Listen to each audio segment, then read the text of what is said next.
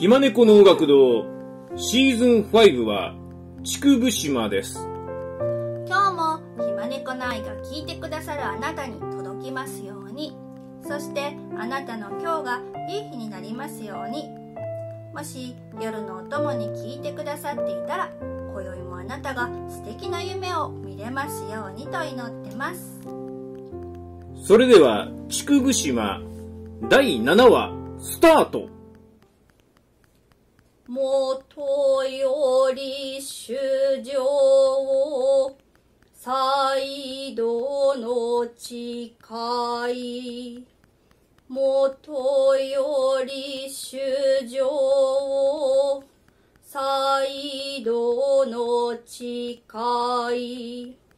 様々なればあるいは天女の形を現じ無縁の主情の諸願の叶えまたは下界の理不尽となって国土を沈め誓いを表し天女は気宇宙にいらせたまえば理不尽なすなわち湖水に非業して波をけた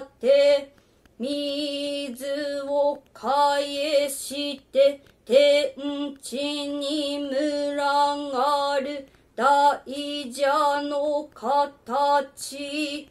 天地に群がる大蛇の形は竜宮に飛んでぞ。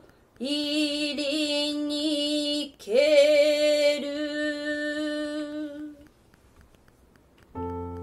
おしまい。本日竹生島第7回目。最終回いかがでしたか？弁財天様や龍神様は人々の願いを叶えるため姿を現したといった感じでしょうか。